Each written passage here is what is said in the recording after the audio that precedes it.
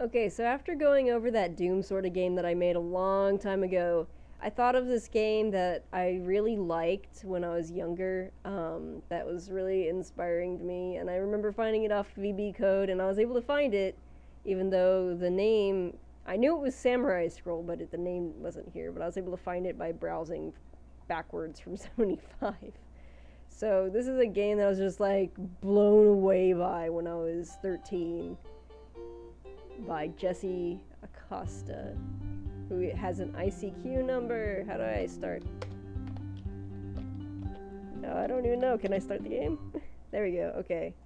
So you got uh, some seconds, and you go into town. It's like uh, your sensei has become ill. Go find some scrolls, and you just move around this world. And I just this is, I mean, pretty cool. I guess it's still Visual Basic, but I just I was so in love with this game. I just like daydreamed of being able to make something like this, and like couldn't figure out how to do it and I mean, this sort of thing would just be so easy to do these days.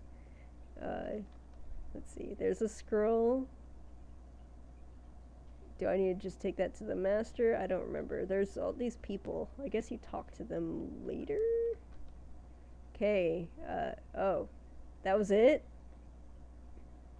I have found the sacred scroll, and now I am an awesome samurai master and I've just reset the game by hitting enter, but I was wondering how I could talk to these people. I know there has to be a way.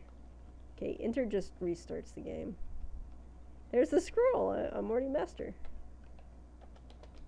Okay, well, she's not talking to me, but you got this around here. I wonder if he stored the map file separately. I don't see it. And there's other songs, but they're not playing.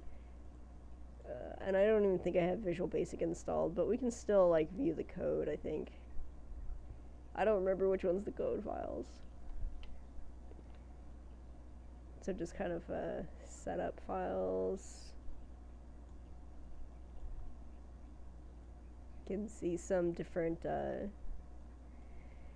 different variables declared, some form properties.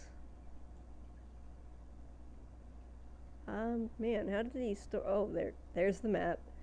Uh, he just stored it, I guess, as an array and had different types, where each letter represents a type of tile and stuff like that. Yep. There's some VB code for you for making a little RPG.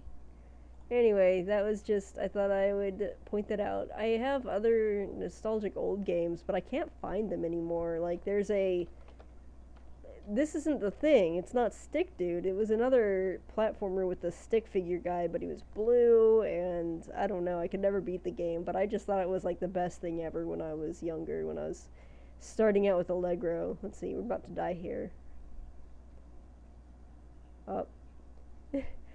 Oh. No, I am too late. I have failed. My only hope is through seppuku, except I can still move around. And negative one seconds. But yeah, that's just a, I guess a little bit of my past and some of the inspiration. Um, let's see. I think, I know another game I really liked was Sword of Fargoal.